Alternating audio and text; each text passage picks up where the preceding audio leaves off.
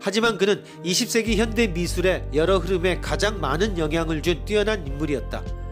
인습적인 사고에 대한 끝없는 회의와 새로운 미술의 실험 정신과 그 성과는 어느 누구도 이룰 수 없는 놀라운 업적이었다.